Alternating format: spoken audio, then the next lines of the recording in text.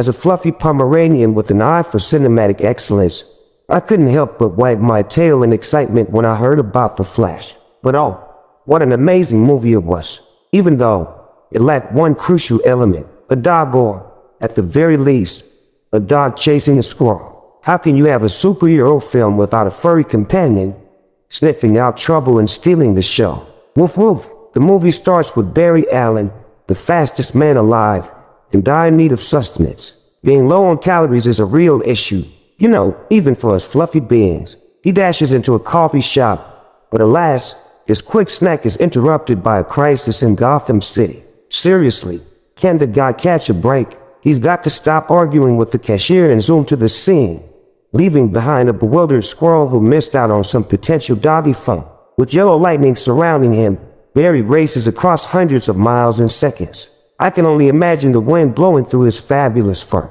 But I digress. Back to the review. Barry, bless his speedy paws, gets chewed out for his perpetual tardiness. Honestly, he should have been promoted ages ago but I guess superheroes don't get promoted like us good boys and girls. And why was he the only Justice League member available? Did they have a dog convention to attend? Maybe he could have fetched them some reinforcements. Speaking of friends, Barry reunites with Iris West, who happens to be a journalist. She's concerned about Barry's dad, who's up for parole. Can you imagine the anticipation of a dog seeing their human after a long day?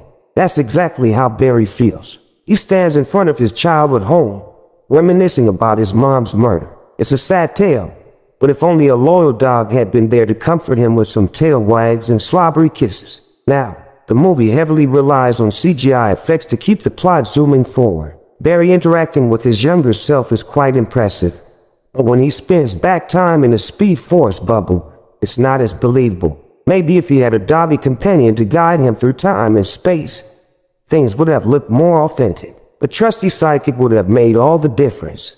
But fear not, my fellow dog enthusiasts, for Batman makes an epic return. Michael Keaton swoops in like a true canine crusader, donning his iconic 1,989 costume and vehicles. It's mind-bogglingly awesome, to say the least. However, as much as I adore Batman, he's not a dog.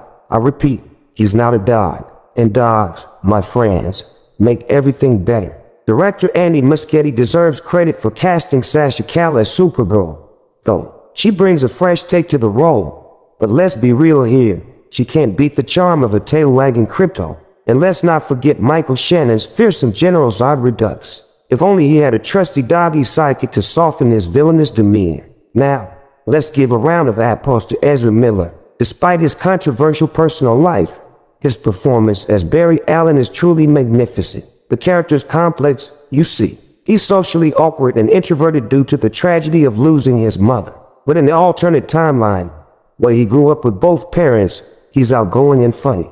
Oh, the parallel universes we dogs could explore with our humans if given the chance. In conclusion, The Flash is a wild ride of super speed and heroic endeavors, but as a Pomeranian, I couldn't help but long for a furry companion or some squirrel chasing action. Nevertheless, the movie delivers on its promise of a stunning superhero adaptation and epic storytelling. If you enjoyed my Pomeranian perspective on The Flash, wag your tail and give this review a plug. Don't forget to leave a comment below and let me know your thoughts. And if you want to stay updated with more of my hilarious movie reviews, be sure to subscribe to my channel. Trust me, you won't want to miss out on the canine-centric insights I bring to the world of cinema. Until next time, keep your tails wagging and your popcorn popping. Woof woof.